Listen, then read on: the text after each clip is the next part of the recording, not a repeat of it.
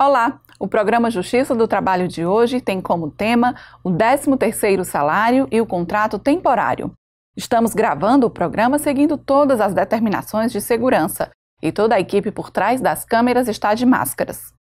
Todo trabalhador tem uma expectativa no final de ano, receber o 13º salário. Mas neste ano, as mudanças trabalhistas ocasionadas pela pandemia de coronavírus têm algumas dúvidas sobre o pagamento da gratificação natalina. Uma outra expectativa de final de ano, mais que diz respeito aos desempregados ou a quem está procurando uma vaga de trabalho pela primeira vez, são as contratações temporárias. Cerca de 2.700 vagas de emprego temporário devem ser abertas no Ceará para suprir a demanda do comércio varejista nas vendas de final de ano. E para falar sobre esses dois importantes temas, nós recebemos aqui no estúdio o juiz do trabalho e presidente da Associação dos Magistrados da Justiça do Trabalho no Ceará, Dr. Ronaldo Solano Feitosa, e o membro da Comissão de Direito do Trabalho da OAB Ceará, Daniel Scarano. Sejam bem-vindos. Obrigado, Camila. Bom, a gente vai acompanhar agora uma reportagem sobre o tema. O pagamento do 13º salário no Brasil até o final de dezembro deveria injetar 215 bilhões de reais na economia do país ao longo do ano, mas a estimativa do DIEESE foi feita com base em um ano normal, em ano de pandemia, o crescimento da informalidade e a particularidade da MP 936, que permitiu a suspensão ou redução de contratos de trabalho, o pagamento do 13º será proporcional para aqueles que aderiram a essa modalidade. Com isso, a projeção é que o montante esse ano seja menor que nos anos anteriores. Certamente nós teremos um impacto menor do que se esperava, dado que no país as taxas de desemprego dispararam, a economia combalida vai crescer bem menos historicamente, isso tem um impacto sobre a produção e sobre o trabalho. A informalidade, né, a precarização do mercado de trabalho, os efeitos da reforma trabalhista também, muita contratação que não tem décimo terceiro, muito, muito pejotização. Isso teve um crescimento muito significativo esse ano e certamente vai fazer com que o valor pago do décimo terceiro seja bem menor do que a gente estimou. No Ceará, quase 3 milhões de pessoas devem receber o benefício, impactando a economia local em mais de 5 bilhões de reais. Mais da metade desse valor irá para trabalhadores do mercado formal, entre setor público e privado, e também empregados domésticos com carteira assinada. O restante ficará com aposentados e pensionistas do INSS. Precisamos de uma reforma eh, tributária que venha a tributar as rendas mais altas, desonerar as rendas mais baixas, uh, desfazer algumas distorções que tem na economia e principalmente que se ela tocasse no Pacto Federativo. Parte significativa dos recursos que são arrecadados ficam todos com o governo federal, onde lá na ponta, nos estados e nos municípios é onde uh, a, a, as realidades acontecem e ficam os estados com muita dificuldade de poder implantar alguma coisa quando você tem parte significativa do seu recurso uh, a nível federal e não vem nada para os estados, principalmente com a região que carece muito de investimento público, como é a região Nordeste.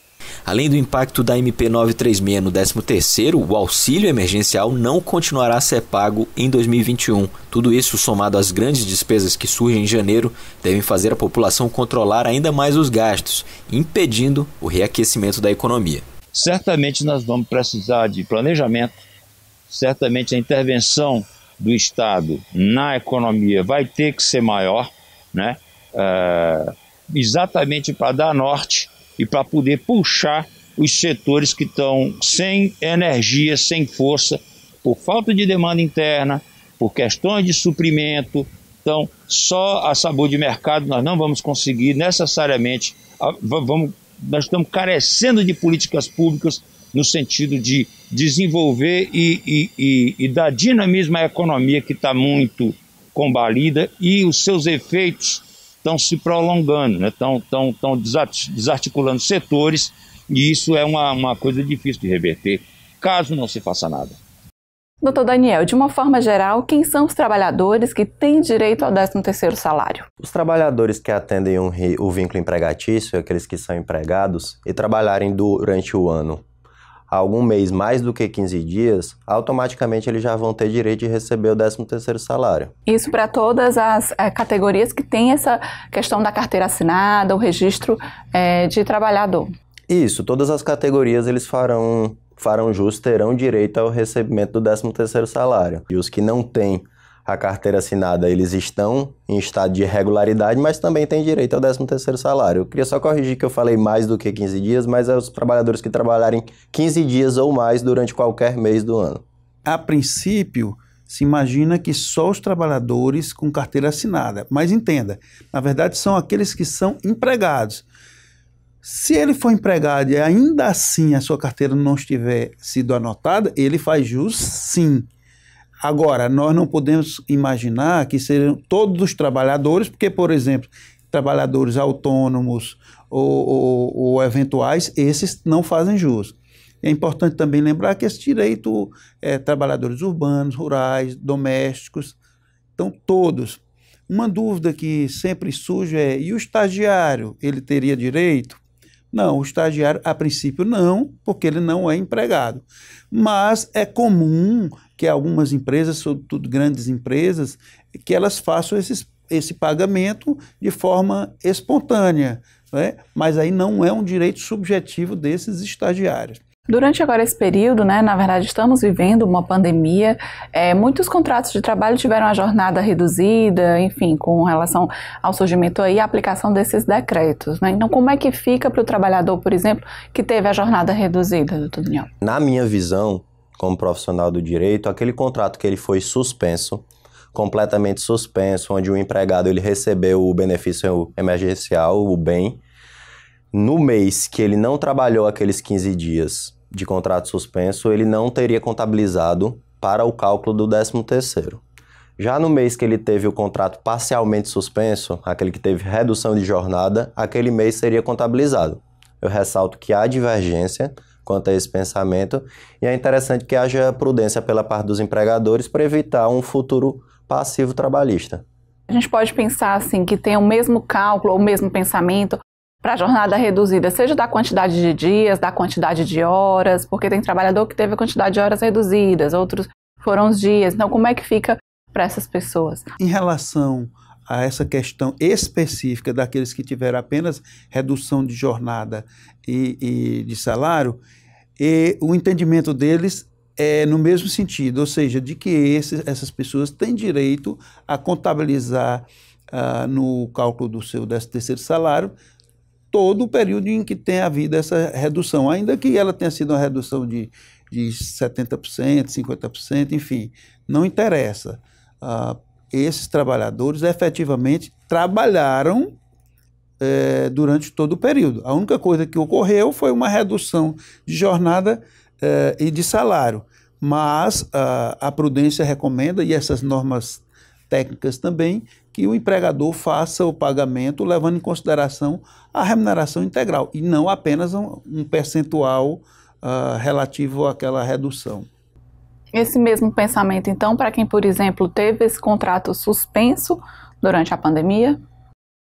Não, Camila, é, é o que foi ressaltado por mim e enfatizado pelo, pelo Dr. Ronaldo é que a questão da suspensão há um, há uma discussão entre essas normas técnicas se a suspensão ela será computabilizada ou não.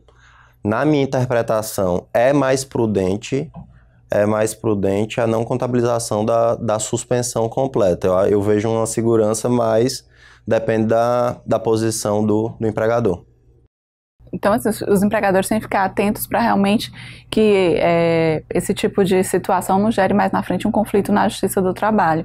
Senhor acredita, por exemplo, doutor Ronaldo, que essas dúvidas e de repente algum empregador que queira realmente diminuir aí essa questão do valor de acordo com a redução de jornada, de suspensão, pode sim realmente é, acarretar e demandar esses processos na Justiça do Trabalho? Sem dúvida. Então é muito é, de fundamental importância que esses empregadores né, é, se aconselhem com, com os advogados, né, vejam essas notas técnicas que nós mencionamos, é, porque qualquer, digamos assim, atitude que vá de encontro a, a, a esses entendimentos pode ensejar efetivamente um passivo uh, trabalhista. Na minha opinião particular, a nota técnica uh, do Ministério da Economia, ela me parece mais correta, porque ela Uh, se há uma suspensão do contrato tra de trabalho, não há prestação de serviços e, portanto, não há pagamento de salário.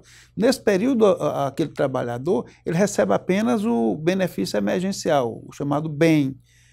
Portanto, não deve ser contabilizado uh, durante esse, período de afastamento aqueles meses em que ele, por exemplo, não chegou a trabalhar 15 dias, ele trabalhou menos de 15 dias. Né?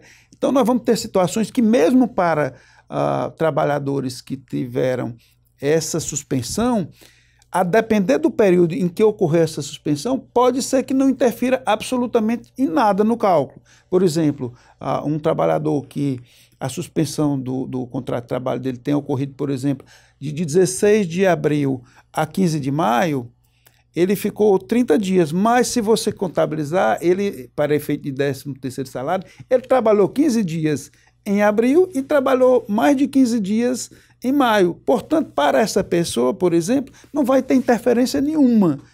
Na maioria das, das situações onde tem um, uma, digamos assim, uma suspensão maior, evidentemente que isso vai é, ensejar. Imagina alguém que passou quatro meses afastado começando é, do primeiro dia até o, o, último dia de cada mês, durante quatro meses.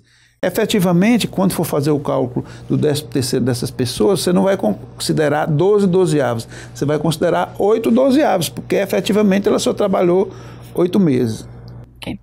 Bom, a gente vai fazer um rápido intervalo e volta daqui a pouco com o programa Justiça do Trabalho.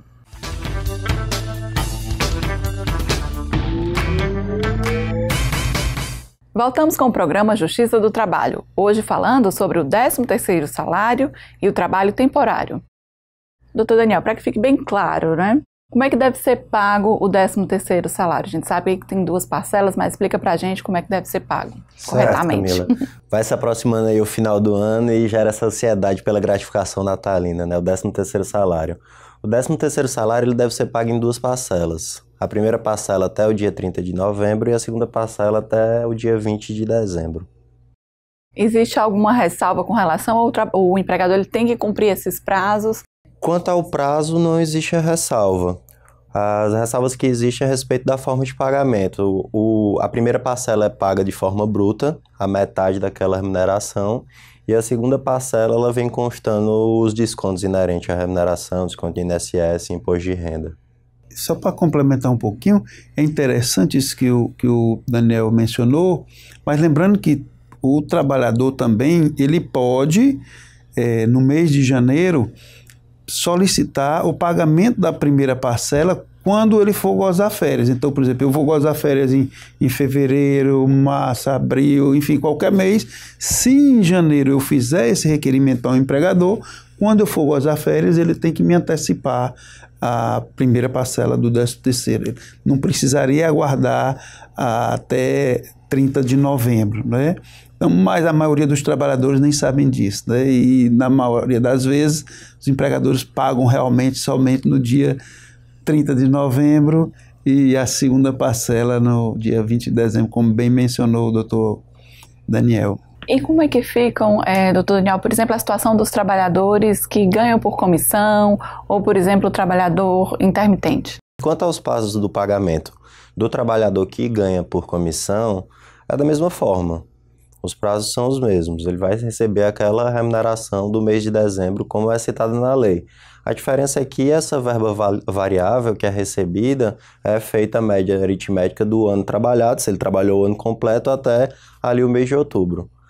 No caso dos trabalhadores intermitentes, já há uma certa diferença. O trabalhador intermitente, que é uma novidade da reforma trabalhista, ele já recebe o 13º salário e as férias após a prestação do serviço. Quando ele é convocado a trabalhar, ele recebe imediatamente após aquela aquela remuneração e também com essas proporcionalidades de férias, 13 terceiros, canso semanal remunerado. Então, não atenderia esses prazos aí referente à competência anual mas sim ao trabalho realizado.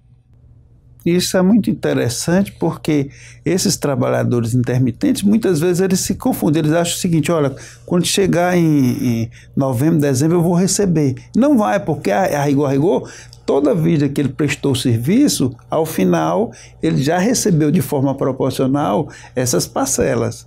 Né? Então, elas já estão embutidas naquele pagamento que ele recebeu quando prestou o serviço. Doutor Ronaldo, existe muita demanda é, trabalhista envolvendo essa questão do 13 terceiro?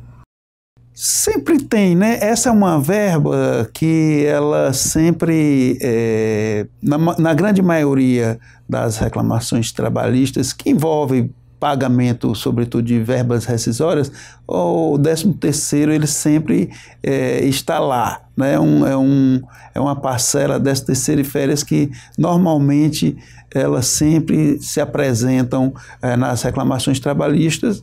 Muitas vezes, é, é, não é nem porque, digamos assim, é, chegou o final de ano e não pagou, é porque às vezes o contrato de trabalho foi extinto, sei lá, em julho.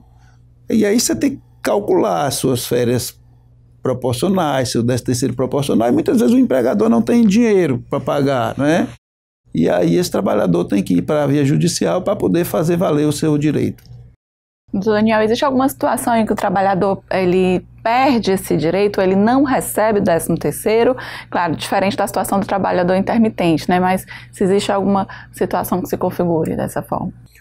Camila, é, o 13 terceiro salário, ele diferente da, das férias, ele não sofre um prejuízo direto com aquelas questões das faltas, né? As faltas não justificadas. As faltas não justificadas, elas influenciam nas férias. No 13 terceiro salário, elas não influenciam diretamente, como sendo uma punição. Entretanto, se durante um mês o funcionário ele vier a faltar mais do que 15 dias, ele pode, nos meses é, obrigatoriamente tem 30 dias, deixar de trabalhar 15 dias e não fazer juiz aquele um dozeavos, né? Porque o cálculo do 13 terceiro ele é feito dessa forma. A cada mês trabalhado, um dozeavos da remuneração de dezembro. Então ele perderia aquele mês de trabalho. Isso aí seria uma consequência. E no caso do trabalhador que tem alguma dúvida sobre o 13 terceiro ou se acha que recebeu o cálculo de forma errada, é, a quem ele pode recorrer, por exemplo, assim, diante de uma situação como essa? O, o trabalhador, ele é,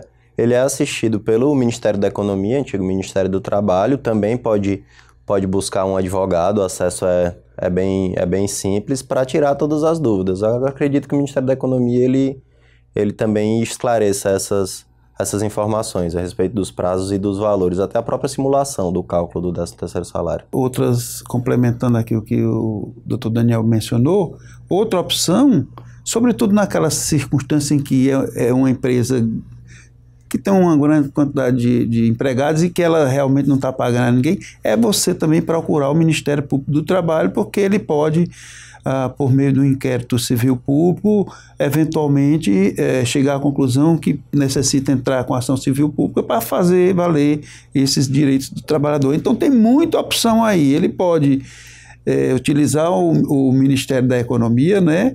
Ele pode utilizar-se do Ministério Público do Trabalho, ele pode utilizar-se do sindicato da sua categoria, para levar esta demanda e pode contratar um advogado particular né, da sua confiança para que uh, ele possa ajuizar uma ação cobrando aquilo, né? Nós vamos fazer um rápido intervalo e voltamos já já com o programa Justiça do Trabalho.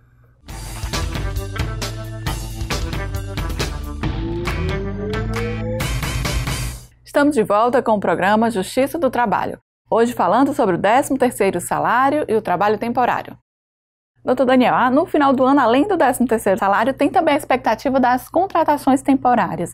Quais são os tipos de contratações temporárias? Tiveram algumas mudanças que a gente pode citar? Igual a ansiedade que é gerada nos trabalhadores a respeito do recebimento do 13º salário é por aquela oportunidade de trabalho nas épocas festivas, né, que é uma das possibilidades da implementação do trabalho temporário. É, houveram mudanças implementadas pela reforma trabalhista, inclusive uma dessas mudanças foi a, o elastecimento do prazo, é, que anteriormente eram de três meses, agora são de 180 dias, prorrogável por mais 90 dias, alcançando aí o prazo de 270 dias. E a respeito da segurança do trabalho, da responsabilidade da própria empresa contratante e mais algumas mudanças que o Dr. Ronaldo também pode acrescentar. Tiveram muitas mudanças. A lei do contrato temporário era uma lei antiga, uma lei de 1974, e aí em 2017, tanto pela, pela reforma trabalhista como pela lei 13.429, foram inseridas várias alterações. Lembrando que a a ideia de, dessa contratação temporária é para duas situações. Aquela situação em que há uma, digamos assim, uma demanda sazonal, em determinado período apenas ah, aquele tomador de serviço vai precisar aumentar eh, os seus empregados, e ou para substituição temporária de pessoas do quadro permanente. Por exemplo, tem empresas que, por exemplo, ela tem uma, uma situação que muitas mulheres engravidaram ao mesmo tempo e ele precisa ali eh, substituir. Ele não quer contratar novos empregados. Então, ele procura uma empresa que é, atua nessa, nesse campo do trabalho temporário. Essa empresa de contrato temporário é quem contrata o empregado e esse empregado vai prestar serviço a essa tomadora. Realmente uma oportunidade muito interessante para aqueles trabalhadores que se encontram fora do mercado de trabalho, não é? porque é, geralmente nesses períodos de Natal, muitas vezes também na época da Páscoa, né? sobretudo aquelas empresas que uh, comercializam, fabricam e comercializam chocolate, também utiliza-se muito uh, dessa espécie de, de, de trabalhador, porque de fato ela só precisa disso durante um pequeno período. Existe tanto a contratação da empresa direto para esse trabalhador temporário, quanto pela intermediação de outra empresa, é isso? No contrato temporário, ele sempre tem que ser via essa empresa de contrato temporário. Então, a empresa tomadora, a contratante, ela contrata essa empresa, esta empresa é quem faz a admissão deste empregado. E esse empregado vai prestar serviço àquela empresa tomadora, né? Com relação aos direitos trabalhistas desse trabalhador temporário, aquele tem direito, né? Certo.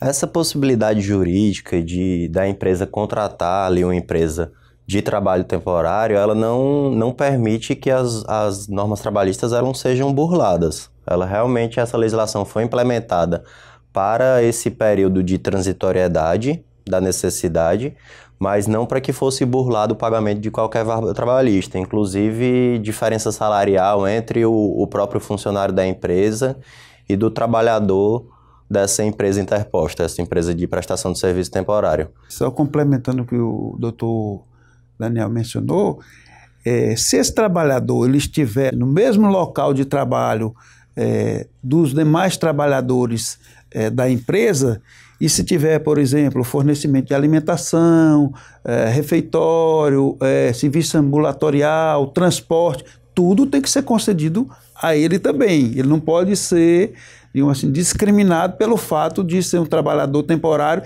e não ser dos quadros efetivos daquela empresa tomadora. Isso é muito importante porque preserva uh, basicamente todos os direitos que, que, qualquer trabalhador possui. Né? Evidentemente que, pelo, pelo fato de ser temporário, ele tem alguns direitos, por exemplo, aviso prévio. Ele não vai ter porque ele já sabe que aquele contrato dele já vai vigorar por um determinado período.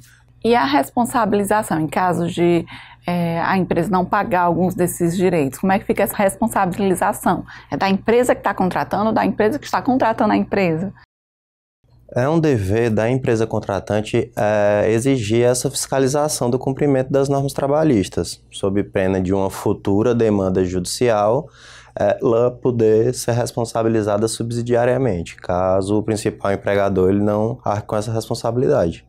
Então, todas as, as normas trabalhistas têm que ser concedidas e o, a empresa contratante também tem que fazer essa fiscalização. Ou seja, aquela obrigação principal é da própria empresa de contrato temporário. Mas a empresa tomadora, ela tem que fiscalizar isto.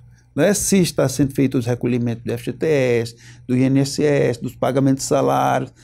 Se houver, digamos assim, o descumprimento de qualquer norma por parte do real empregador, o empregado, quando ele ajuizar uma ação, ele pede a responsabilidade subsidiária uh, da empresa tomadora. O que, que significa dizer isso? Olha, eu estou pedindo que meu empregador pague, mas se não for possível, se ele não, não tiver condições, quem vai pagar é a tomadora, aquela que se beneficiou, em última análise, do, do, do serviço daquele trabalhador.